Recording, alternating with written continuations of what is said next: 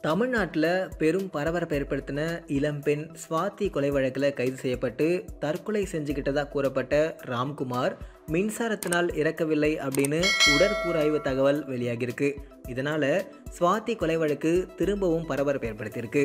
ராம்குமார் காவல்துறையினரால் சிறையில் கொல்லப்பட்டாரா அப்படிங்கிற கேள்வி எழுப்பப்பட்டு வருது. சிறையில் அடைக்கப்பட்டிருந்த ராம்குமார் எப்படி இறந்தாரு? சிறைச்சாலையில் காவல்துறையினரால் அடித்து கொல்லப்பட்டாரா? அவருடைய மரணம் எப்படி நிகழ்ந்துச்சு? அப்படின்னு சமூக வலைத்தளங்களில் பல கேள்விகள் தொடர்ந்து எழுப்பப்பட்டு வருது. ரெண்டாயிரத்தி பதினாறாவது வருஷம் ஜூன் இருபத்தி நான்காம் தேதி காலை நுங்கம்பாக்கம் ரயில் நிலையத்தில் சுவாதி அப்படிங்கிற இளம்பெண் கொடூரமாக வெட்டி படுகொலை செய்யப்பட்டாங்க. இந்த கொலை விவகாரத்தில் நெல்லை மாவட்டம் மீனாட்சிபுரத்தை சேர்ந்த ராம்குமார் அப்படிங்கிற பொறியியல் பட்டதாரியை போலீஸார் கைது பண்ணாங்க. முன்னதாக அவரை கைது செய்ய முயன்றப்போ அவர் பிளேடால் தன்னோட கழுத்தை அறுத்துக்கிட்டு தற்கொலைக்கு முயன்றதாக காவல்துறையினர் கூறி மருத்துவமனையில் அனுமதிச்சாங்க. அவரது கழுத்தில் பதினெட்டு தையல்கள் போடப்பட்டுச்சு. உயிருக்கு ஆபத்து இல்லை அப்படின்னு மருத்துவர்கள் சொன்னாங்க. ஆனால் இதை ராம்குமாருடைய பெற்றோர்கள் மறுத்தாங்க. இது மிகப்பெரிய சலசலப்பை உண்டாக்குச்சு. இது தொடர்பாக காவல்துறையினர் ராம்குமார் சுவாத்தியை ஒரு தலையாக காதலிச்சதாகவும் போலீஸார் தரப்பில் சொல்லப்பட்டுச்சு. ஆனால் அது குறித்து வேறு எந்த விளக்கமும் கொடுக்கப்படலை. இதனால் ராம்குமார் கைது செய்யப்பட்டதுலேயும் சர்ச்சை கிளம்புச்சு. இந்த கொலை வழக்கில் பல்வேறு முரண்பாடுகள் இருக்க நிலையில் வழக்கு கடந்த ஐந்து ஆண்டுகளாக இழுத்தடிக்கப்பட்டு வருது. இப்படி இருக்கும்போது ஸ்வாதி கொலை வழக்கை விசாரித்து வரக்கூடிய மனித உரிமை ஆணையம் ராம்குமாருடைய மரணம் குறித்தும் விசாரித்து வராங்க. இதன் விசாரணைக்கு ஆஜரான மருத்துவர்கள் ராம்குமாருடைய உடலில் மின்சாரம் பாய்ந்ததற்கான எந்த ஆதாரமும் இல்லை அப்படின்னு சொல்லியிருக்காங்க. இது இப்போ மிகப்பெரிய பரபரப்பு ஏற்படுத்தியிருக்கு.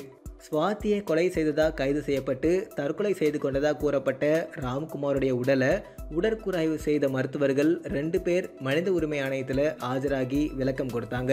அவருடைய வாக்குமூலம் என்ன அப்படின்னா ராயப்பேட்டை அரசு மருத்துவமனையில் பேராசிரியராக பணியாற்றிய போது ஏழு பத்து ரெண்டாயிரத்தி பதினாறு அன்று ராம்குமாரோடைய உடல் உடற்கூறாய்வுக்கு வந்துச்சு. அந்த நபருடைய மூளை மற்றும் இதர உறுப்புகள் திசு பரிசோதனைக்காக அனுப்பப்பட்டுச்சு. இந்த பணியில் நானும் மருத்துவர் வேணு ஆனந்த் என்பவரும் இருந்தோம். ஆய்வில் அந்த நபரின் உடலில் மின்சாரம் பாய்ந்ததுக்கான அறிகுறி எதுவுமே காணப்படலை. எங்களுடைய பரிசோதனை அறிக்கையில் மூளை திசு பரிசோதனை செய்ததில் நல்ல நிலையில் இருந்துச்சு.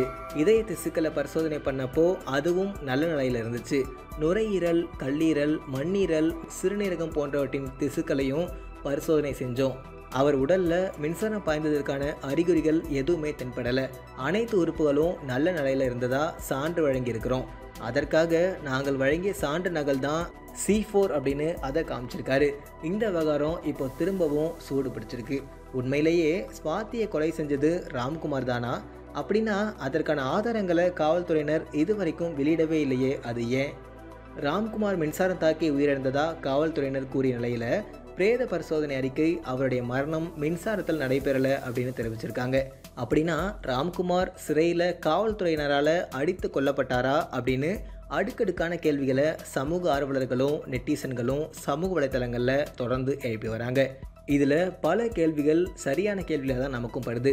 இது பற்றின உங்கள் கருத்துக்கள் என்ன அப்படின்னும் உங்கள் மனசில் இது தொடர்பாக எழுதுகிற கேள்விகள் என்ன அப்படிங்கிறதையும் மறக்காமல் கமெண்ட்டில் போடுங்க. இந்த வீடியோ பிடிச்சிருந்தா லைக் அண்ட் ஷேர் பண்ணுங்கள்